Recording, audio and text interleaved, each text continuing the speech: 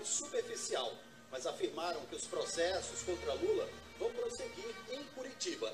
A Força Tarefa entendeu que o Supremo não discutiu competência de Sérgio Moro para julgar essas ações.